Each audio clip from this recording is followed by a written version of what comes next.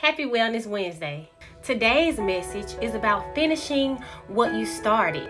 Did you all know that there's a such thing as a spirit of almost there?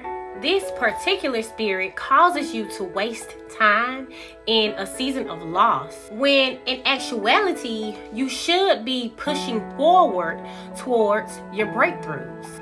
It may also cause you to embrace or accept disappointment just because that's what you're used to.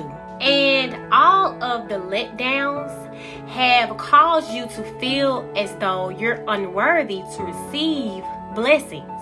So, basically, this spirit comes about when you're close to your breakthrough, but you get so overwhelmed with the trials and tribulations that you give up every single time at the point when you should be pushing and fighting the hardest. First Chronicles 16 and 11 says, Seek the Lord in his strength.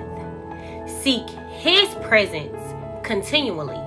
So, in other words, you don't have to do it out of your own strength because you're only human and it's only so much you can take because the spirit is willing, but the flesh is weak.